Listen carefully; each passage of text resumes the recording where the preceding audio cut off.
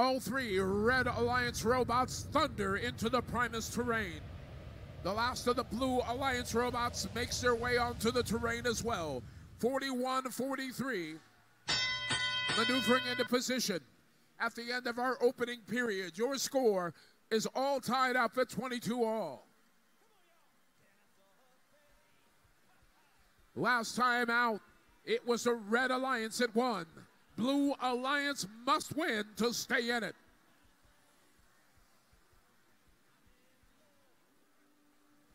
One twenty-five, working on the far side of the Blue Alliance cargo ship, delivers payload. That cargo pod loaded and scored.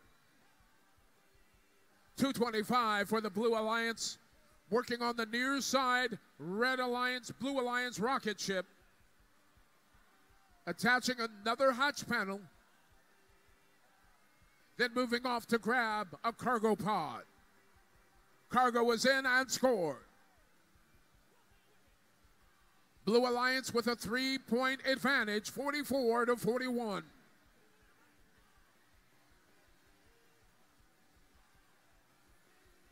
On defense for the Red Alliance is first team 44 81, Team Rembrandt and that familiar role as the Red Alliance Muscle Man. For the Blue Alliance, it's 41 43, the strong defensive player taking on all comers in Red Alliance territory. 3707, delivering cargo to the far side of the Red Alliance cargo ship. Red Alliance with a two point lead, 65 to 63, 30 seconds left. Near side of the field, Blue Alliance loading more cargo.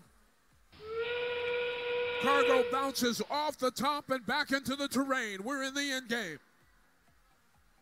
This is where the match was won last time these two alliances met. 225 is on the upper platform for the Blue Alliance. 3707 levitating up.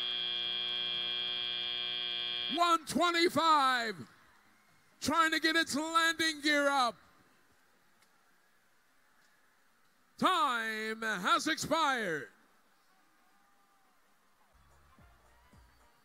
Red Alliance with the victory, 95 to 81. How about a round of applause for your number three alliance? They were led by first team.